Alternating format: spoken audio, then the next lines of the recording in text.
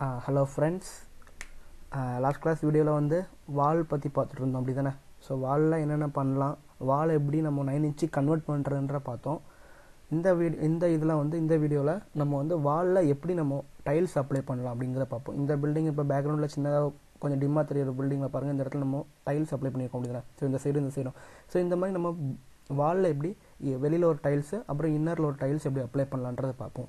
ஓகேவா ஸோ வீடியோக்குள்ளே போகலாம் நான் வந்து ரிவீட் ஓப்பன் பண்ணிக்கிறேன் ஓகேவா ஒரு நிமிஷம். நான் இப்போ ரிவீட் ஓப்பன் பண்ணியாச்சு ஓகே நான் சேம் நேற்று பண்ண மாதிரியே வால் எடுக்கிறேன். வாலில் ஜென்ரிக் எயிட் இன்ச் வால் எடுத்துக்கிறேன் ஓகேவா so generic eight inch wall எடுக்கிறேன். மாடிஃபை வாலில் போய்ட்டு நான் ஒரு ரெக்டாங்குலராக ஒரு வால் ட்ராப் பண்ணிக்கிறேன். ஸோ லாஸ்ட் வீடியோவில் வந்து நம்ம என்ன பண்ணியிருந்தோம் அப்படின்னா இந்த வால்க்கு ஜஸ்ட் ஒரு பிரிக் அப்ளை பண்ணிட்டு ரெண்டு சைடு பிளாஸ்டிக் மட்டும் அப்ளை பண்ணியிருந்தோம். ஓகேயா இதில் பார்த்தீங்கன்னா சாலிடாக இருக்குது நம்ம இன்னுமே எதுவுமே இன்னும் அப்ளை பண்ணல. ஸோ அப்ளை பண்ணலாம். ஸோ நான் வால் பிக் பண்ணிட்டு எடிட் டைப்பில் சேம் எடிட் இப்போ என்ன பண்ணிக்க போகிறேன்னா இந்த சென்டரில் லாஸ்ட் வீடியோவில் பண்ண மாதிரியே அதே பண்ண போகிறேன் பிரிக் அப்ளை பண்ணிக்க போகிறேன் ஸோ மே சென்டர்லேயே போய்ட்டு பிரிக் ரீப்ளேஸ் அப்ளை ஓகே ஓகேவா பிரிக் அப்ளை ஆயிடுச்சா? தென் இன்சர்ட் அப் தென் இன்னொரு இன்சர்ட் டவுன் ஓகேயா ஸோ இதில் என்ன பண்ணோம்? ஃபினிஷ் ஒன் இதுலேயும் ஃபினிஷ் டூன்னு வச்சுருந்தோம். தென் இதில் என்ன பண்ணியிருந்தோம் பிளாஸ்டரிங் அப்படின்னு அப்ளை பண்ணியிருந்தோம் ஸோ மெட்டீரியலில் போய்ட்டு பிளாஸ்டர் இந்த பிளாஸ்டர் என்ன பண்ணணும் மேலே தூக்கி போட்டு அப்ளை ஓகே சேம் அதே மாதிரி இங்கே என்ன பண்ணியிருந்தோம் plaster plaster apply okay so இந்த மாதிரி பண்ணி பண்ணிவிட்டு என்ன பண்ணோன்னா இதில் ஒரு பாயிண்ட் ஃபைவ் இன்ச் திக்னஸ் கொடுத்துருந்தோம். சேம் இதுலேயும் ஒரு பாயிண்ட் ஃபைவ் இன்ச் திக்னஸ் கொடுத்துருந்தோம் லாஸ்ட் வீடியோவில் நம்ம இது வரைக்கும் பண்ணியிருந்தோம். ஓகேவா ஸோ இப்போ என் இந்த வாலில் எப்படி நம்ம வந்து டைல்ஸ் அப்ளை பண்ணலான்னு பார்ப்போம். ஸோ பார்த்தீங்கன்னா அப்ளை வந்து சாலிடாக இருந்துச்சு. இப்போ பார்த்தீங்கன்னா நமக்கு வந்து ஒயிட் கலர் வந்துருச்சு. ஸோ என்ன அப்படின்னா நம்ம பிளாஸ்டரிங் அப்ளை பண்ணியாச்சு. அப்படி தானே ஸோ இப்போ வந்து எனக்கு வந்து வெளியில் ஒரு டைல்ஸும் உள்ள ஒரு டைல்ஸும் ப்ளேஸ் பண்ணியிருக்கணும். அதுக்கு என்ன பண்ணலாம்? சேம் அதுக்குமே வால் பிக் பண்ணிட்டு எடிட் டைப் எடிட் இப்போ என்ன பண்ண போகிறீங்கன்னா இன்னொரு இன்னொரு பவுண்டரி இன்சர்ட் பண்ண போகிறோம் அதாவது இந்த பிளாஸ்டருக்கு மேலே. சேம் இதே மாதிரி இங்கே இன்சர்ட் பண்ணிவிட்டு இது டவுன் என்ன பண்ணியிருக்கோன்னா ஃபஸ்ட்டு பிரிக் காமன் இருக்குது. அப்புறம் பிளாஸ்டிங் இருக்கணும். பிளாஸ்டிக் வெளியில் தான் நம்ம டைல்ஸ் அப்ளை பண்ணுவோம். ஸோ இந்த பிளாஸ்டிக் மேலே தான் அதை வச்சுக்கணும். சேம் அதே மாதிரி பிரிக் காமன் இருக்குது பிளாஸ்டர் இருக்குது. பிளாஸ்டர் கீழே புது மெட்டீரியல் அப்ளை பண்ணும் ஓகேவா ஸோ இந்த இதில் உங்களுக்கு என்ன டைல்ஸ் வேணுமோ அந்த டைல்ஸில் எடுத்துக்கோங்க. கேட்டகரி டைல்ஸ் போங்க. டைல்ஸ் போய்ட்டு உங்களுக்கு எந்த டைல்ஸ் இதில் வேணுமோ அந்த டைல்ஸ் எடுத்துக்கோங்க. நான் ஒரு ப்ரௌன் கலர் டைல்ஸ் எடுத்து மேலே அப்ளை பண்ணிட்டு அப்ளை பண்ணிக்கிறேன். இந்த டைல்ஸில் நான் வேறு ஏதாவது ஒன்று அப்ளை பண்ணுறேன் ஸோ டைல்ஸ்னு வேண்டாமே நம்ம ஏதாவது டிஃப்ரெண்ட்டாக கொஞ்சம் இந்த மாதிரி ஒரு ஆரஞ்சு கலர் இருக்குதா? ஸோ இந்த ஆரஞ்சு கலர் மெட்டீரியல் நான் அப்ளை பண்ணுறேன் ஓகேவா அப்ளை பண்ணியாச்சு. இதுக்கு நம்ம திக்னஸ் கொடுத்துடலாம். டைல்ஸ் எவ்வளோ வேணும்னு சொல்லுங்கள் எனக்கு ஒரு ஒரு இன்ச்சுக்கு டைல்ஸ் இருக்கட்டும்னு சொல்கிறேன் இந்த சைடில் ஒன் இன்ச்சுக்கு டைல்ஸ் இருக்கட்டும்னு சொல்லிட்டு இப்போ என்ன பண்ணுன்னா இதை தான் நீங்கள் ஃபினிஷ் ஒன்று வைக்கிறோம் ஏன்னா இதோட தான் நமக்கு வாழ்க்கை முடிய போகுது. இதை ஃபினிஷ் டூவாகவும் இதை ஃபினிஷ் ஒன்றா வைக்கணும். அப்போ இதை என்ன பண்ணணும்னு கேட்டிங்கன்னா சப்ஸ்ட்ராக்ட் அப்படின்னு மாற்றிடணும் சுரசிறப்பு தன்மை அப்படின்னு சொல்லிட்டு மாற்றிடுங்க இதையும் இதை ஏன்னா நம்ம டைல்ஸ் நார்மலாகவே டைல்ஸ் ஒட்ட போகிறாங்க அப்படின்னா அதை வந்து கொஞ்சம் சுரசுரப்பாக தான் வச்சுருப்பாங்க. அப்படி தானே ஸோ அதை சப்ஸ்ட்ராக்டாக மாற்றிட்டு இதில் போய்ட்டு ஃபினிஷ் ஒன்று சொல்லுங்கள் ஓகேவா? டைல்ஸ் அப்ளை பண்ணுறோம்ல அந்த லேயரை ஃபினிஷ் ஒன் ஃபினிஷ்டுன்னு சொல்லுங்கள் ம மறுபடியும் சொல்கிறேன் ஃபஸ்ட்டு என்ன இருந்துச்சு? பிரிக் காமன் வைக்கிறோம். இன்னொரு லேயர் இன்செர்ட் பண்ணி பிளாஸ்டர் வச்சுக்கிறோம். இன்னொரு லேயர் கீழே இன்செர்ட் பண்ணி பிளாஸ்டர் அந்த ரெண்டு லேயருக்கு மேலே தான் நீங்கள் என்ன பண்ணுன்னா ஒரு இன்செர்ட் பண்ணிட்டு பிளாஸ்டருக்கு மேலே இருக்கணும் இதுவும் பிளாஸ்டருக்கு கீழே இருக்கணும்.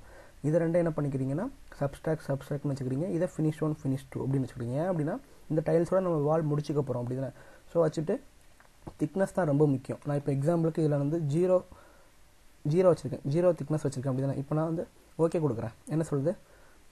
அதாவது ஜீரோ திக்னஸில் இருக்குதுன்னு சொல்லுது. ஓகேவா ஸோ திக்னஸ் வந்து கண்டிப்பாக முக்கியம்.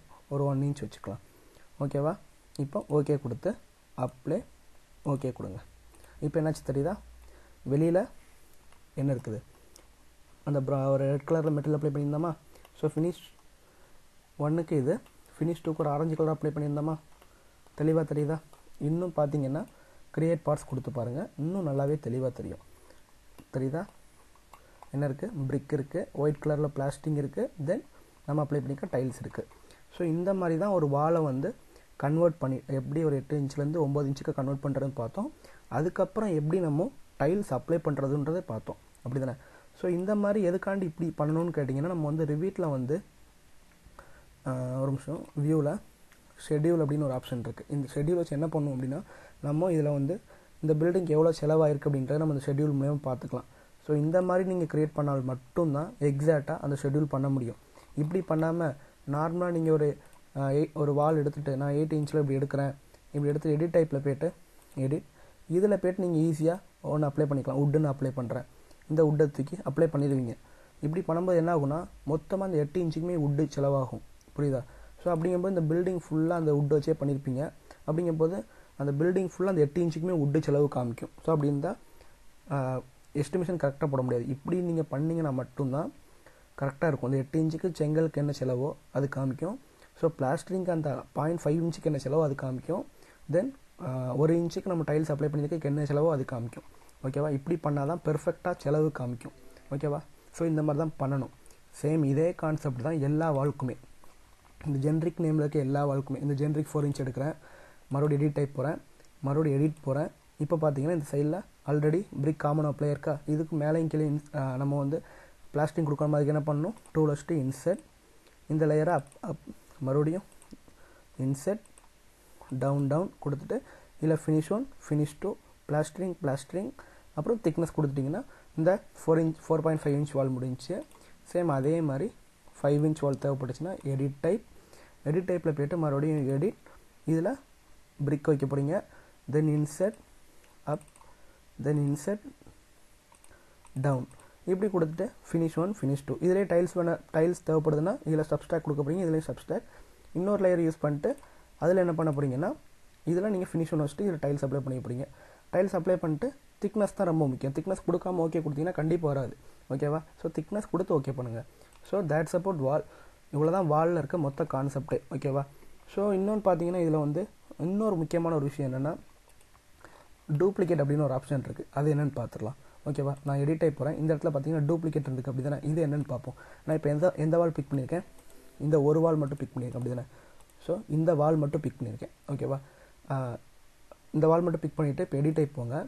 இந்த வால்க்கு நான் வந்து டூப்ளிகேட் பண்ணுறேன் டூப்ளிகேட் வந்து நான் ஒரு ஒன்றுன்னு போட்டு ஒரு நேமில் சேவ் பண்ணுறேன் இப்போ போய் எடிட் பண்ணிட்டு இந்த இடத்துல நான் வந்து ஒரு டைல்ஸ் மாற்றுறேன் ஓகேவா?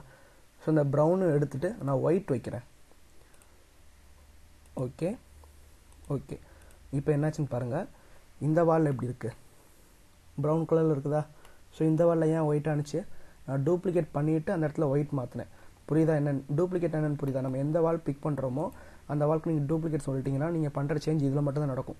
டூப்ளிகேட்னு சொல்லாமல் அப்படி பண்ணணும். ஃபஸ்ட்டு பண்ணும்போது என்ன பண்ணோம் ஒரே வால் பிக் பண்ணிட்டு எடிட் டைப்பில் போய்ட்டு டூப்ளிகேட்லாம் சொல்லவே இல்லை. எடிட்டில் போயிட்டு ஃபுல்லாகவே மாற்றணும் அதனால் என்னாச்சு ஃபுல்லாக மாறுனுச்சு. பட் இப்போ நான் பண்ணும்போது என்னாச்சு?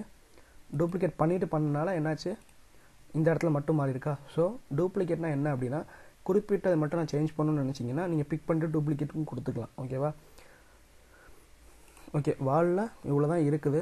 ஸோ வாலில் எனக்கு இது இன்னும் வந்து எனக்கு வாலில் வந்து எனக்கு சரியாக புரியலை அப்படின்னா சிம்பிளாக என்ன பண்ணிக்கலாம்னு நீங்கள் அப்படின்னா மாடிஃபைல போய்ட்டு பெயிண்ட் எடுத்துக்கோங்க. பெயிண்ட் எடுத்துகிட்டு உங்களுக்கு என்ன தேவைப்படுதோ ஜஸ்ட் இப்படி பிக் பண்ணிட்டு போயிருங்க அவ்வளோதான் இதில் புரியலை அப்படின்னா மட்டும் இப்படி ஃபாலோ பண்ணுங்கள் இப்போ எனக்கு ஆரஞ்சு கலர் பெயிண்ட் வேணும்னா இப்படி பிக் பண்ணிட்டு ஆரஞ்சு கலர் இந்த மாதிரி பிக் பண்ணிவிட்டு இல்லை எனக்கு எல்லோ கலர் வேணும்னா எல்லோ கலர் இந்த மாதிரி சொல்லுங்கள் ஓகேவா அப்படி உங்களுக்கு புரியலை அப்படின்னா இந்த இதை ஃபாலோ பண்ணிக்கோங்க. இப்படியும் பண்ணலாம் தப்பு இல்லை. எப்படினாலும் பண்ணிக்கலாம். ரெண்டு ஆப்ஷன் இருக்குது பெயிண்ட் எடுத்து அப்ளை பண்ணிக்கலாம் இல்லை மெட்டீரியல் மூலயமா அப்ளை பண்ணிக்கலாம். ஓகேவா ஸோ ஓகே பார்த்துட்டு புரியுதா புரியலான்றதை கமெண்ட் பண்ணுங்கள் ஓகேவா ஓகே நெக்ஸ்ட் வீடியோவில் பார்க்கலாம். தேங்க்யூ